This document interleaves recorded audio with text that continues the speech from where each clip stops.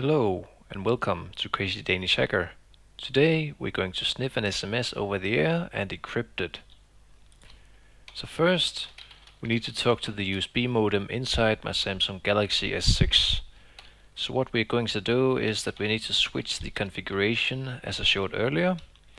So it's USB configuration 2 and that will basically enable the USB modem. So now we can talk to the USB modem, as you can see here. So we are going to use Minicom in this case, because I actually prefer that now, now that I've now that I've discovered the features that it has. So we'll just run it. Make sure your phone is unlocked. Type in a question mark and hit enter. In case you don't receive any input back, uh, or your own input back, then hit Control A, set, and then press E at this prompt. That will enable echoing of your commands and it will be easier to see what you're doing. So first we want to get the KC, so we do this command. It's very important that it's 176 because that's read.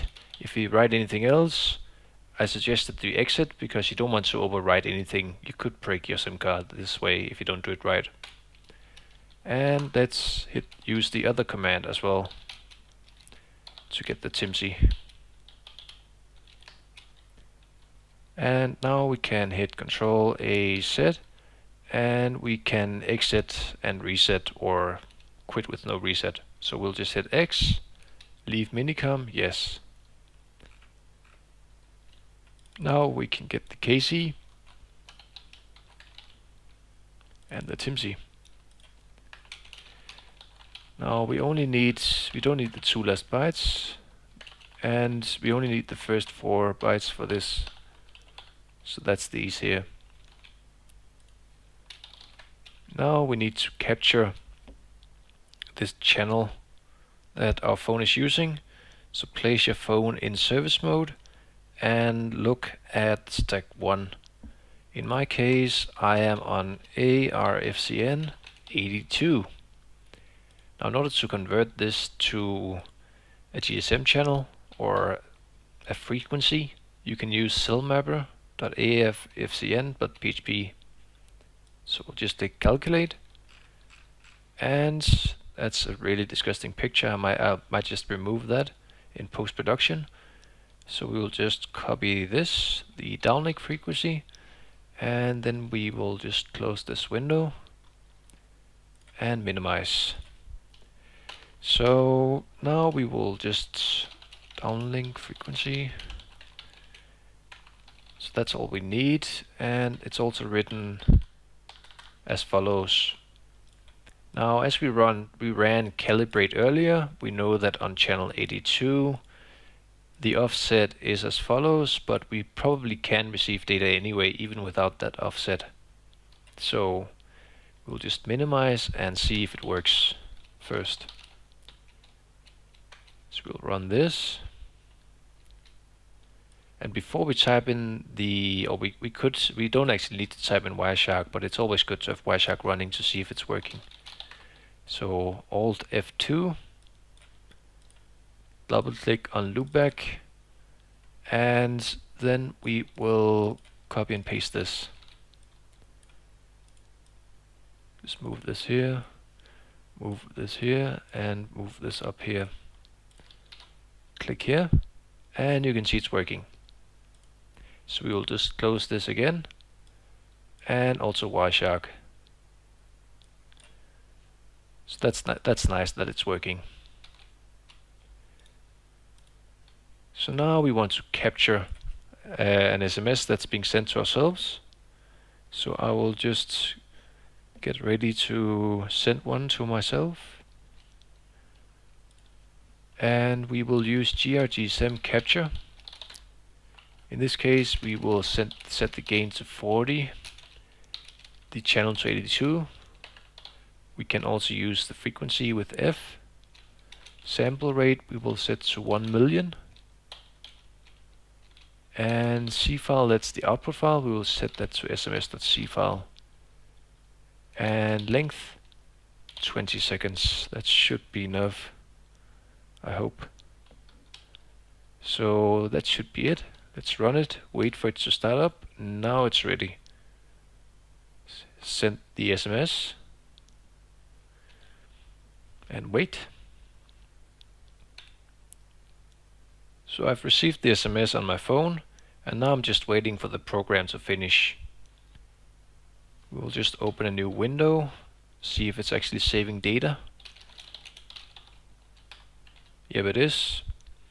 In case it's zero, as in zero size, unplug your RTL SDR and then plug it back into your computer.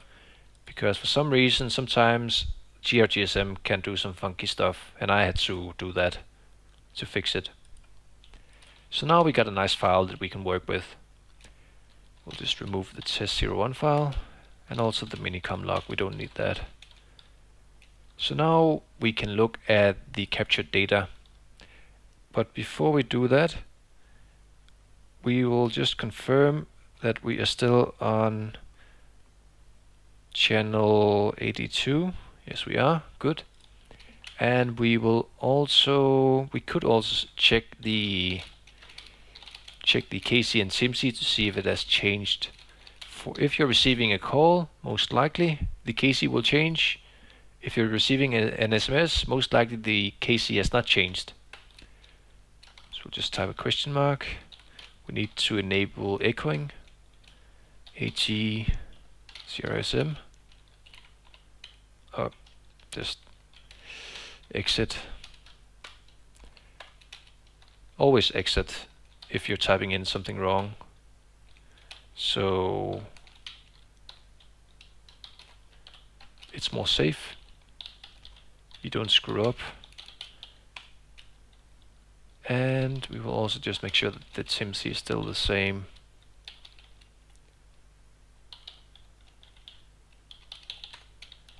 And we will just quit. Scroll up and we can see that it starts with 59 and it ends with 803 just like here and it starts with 906 and it ends with 76 because it's only the eight first bytes which is one two three four so that that's good so now we can use grgsm decode and we can decode the file First we need to set the ARFCN to 82, sample rate to 1 million. We can also write it like this. That should be supported with this program. And we need to set the C file because that's the input file. So C is equal to SMS. The type of channel that we want to decode is BCCH. And the time slot is 0. So now we need to open Wireshark. and listen on loopback. GSM tab and hit enter. So now this program here is decoding the SMSC file and it's sending it via the loopback interface into Wireshark. Depending on what you're doing, you may be able to find the TIMC among your packages. So we will just Control F, display filter, string, packet details and find. For some reason for SMSs I am not seeing the TMSI when I'm just decoding the BCCH but when I'm receiving a call as far as I can remember I can find I can actually find my TIMC. So let's just uh, do it the manual way and let's have a look. We are looking for two paging requests like these and then a where is it? I think it's called immediate assignment so this could be what we're looking for so we'll just see channel description that's promising so we'll just note that down because that may be what we're looking for so it's SDCCH8 that's standard we, don't really need to write it down but we're just doing it anyway time slot 1, that's important. Time slot 1, sub channel. We don't need to do it, but we're just going to do it anyway. 2, we can actually filter based on based on subslot. I think that's how you do it here. You say is equal to like 8 for example or 2. Anyway, let's just stick with this for now. And hopping channel no, so that's that's good because if it's hopping channel it's going to be a lot harder. So now that we have this information we can move on and we can look at some more stuff because we need to identify the encryption in use. So we will just close, stop, you know, stop recording and close, and we will be ready to capture again. So now we need to decode the file again, but in another way. So we will just remove this here and SDCCH8 time slot 1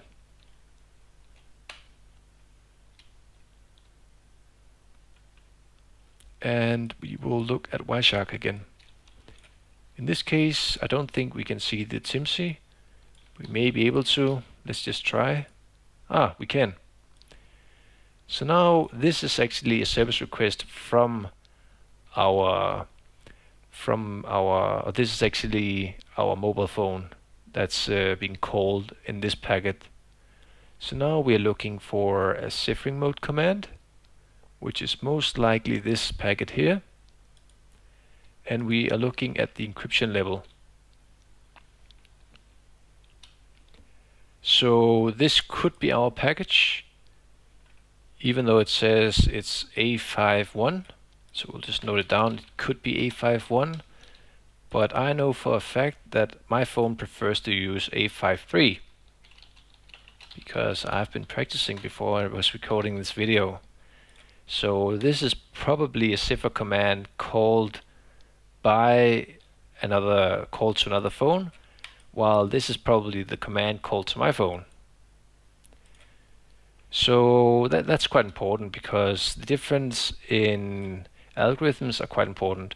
So for example, A51, you can actually crack that, while A53, it's it may be possible, but there aren't any there aren't any current implementations where you can directly crack this. But since we have the key, then we can decrypt it.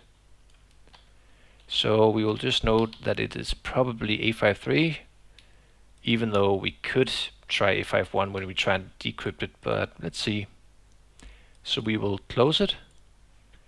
And then we will go here and then we will specify E and then we'll specify 3 that's for A53 and then we'll specify the KC in this format here. Because who has time to write 0x and then each byte? Like that's only if it's coming from another program or something. So now we do it like this and we need to listen on loopback again. And hit enter and we will just go into Wireshark, search for our TIMSI. It's already here, Control F. And let's look down. So let's see here. This is an this is the SMS. So you can see it here. That's the SMS that I sent to myself. And that, ladies and gentlemen, is how you sniff SMSs over the air and decrypt them if you have the KC of course. Stay tuned and subscribe.